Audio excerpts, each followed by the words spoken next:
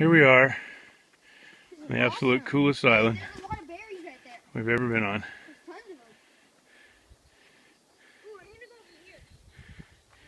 We've definitely got to do a trip here. So it's just cool stuff. Yep. Awesome.